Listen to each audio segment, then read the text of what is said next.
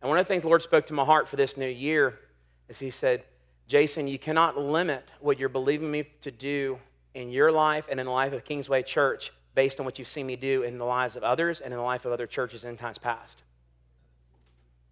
And he told me something that may sound a little crazy to you, but he told me, you know, because eye hasn't seen, ear hasn't heard, it has not yet entered in the hearts of man what God has prepared for those who love him, but he's revealed it to us by his spirit.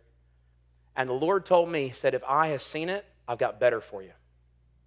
He said, if eye has seen it, that's not what I have for you. That's one of the things we can't build here based on what works there. We can't do here what they do over there. We have to do here what God says to do here. Because I'm believing for what eye hasn't seen, ear hasn't heard, and has not yet entered in the hearts of man, what God has prepared. And I think there's a lot of things that, that God has done for others that would be good things for us, but they would not be the God thing for us. Because what the Lord spoke to me, and I wanted to preface it before I said it, because otherwise you could hear it in the wrong way. And so, as we're famous for saying, don't hear what I'm not saying. The Lord told me, He said, Jason, if I have seen it, it's not me for you in this season. Which is a good thing, isn't it, Jim?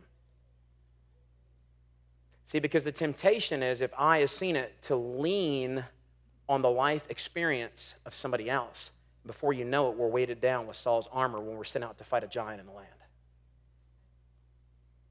For too oft, for too long, the body of Christ has shape shifted to fit society instead of transforming society by the resident glory that is in the body of Christ.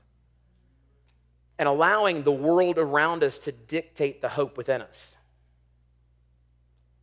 Instead of allowing the hope within us to prophesy to the world around us.